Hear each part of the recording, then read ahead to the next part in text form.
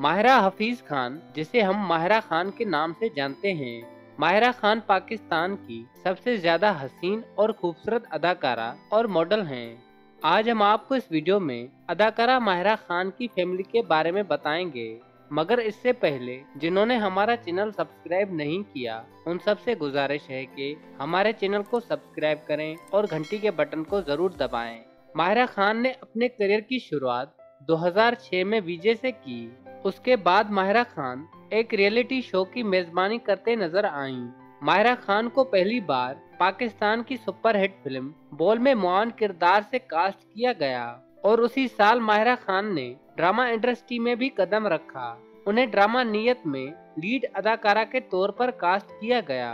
माहिरा खान ने पाकिस्तान के कई कामयाब ड्रामों में काम सरंजाम दिया है, जिनमें हम सफ़र बिन रॉय और सदके तुम्हारे शामिल हैं। मायरा खान लॉलीवुड के अलावा बॉलीवुड में भी अदाकारी के जोहर दिखा चुकी हैं। अदाकारा ने बॉलीवुड के मशहूर अदाकार शाहरुख खान के साथ फ़िल्म रईस में काम किया। मायरा खान को कौमी और बैन अवी सतह पर कई अवार्ड से नवाजा गया है। मायरा खान का जन्म 21 दिसंबर उन्नीस सौ चौरासी को कराची में हुआ। अदाकारा का ताल्लुक एक पख्तून घराने से है। मायरा खान के वालिद हफीज खान एक सनतकार हैं और वालदा घरेलू खातून हैं।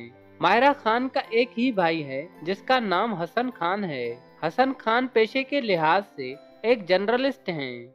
मारूफ अदाकारा मायरा खान ने शादी 2007 में अली अस्करी से की और उनके यहाँ 2009 को बेटे की पैदाइश हुई, जिसका नाम उन्होंने अजलान अस्करी रखा है अदाकारा माहिरा खान और अली अस्करी के दरमियान 2015 को तलाक हो गई थी। दोस्तों, माहिरा खान की फैमिली के बारे में जानकर कैसा लगा?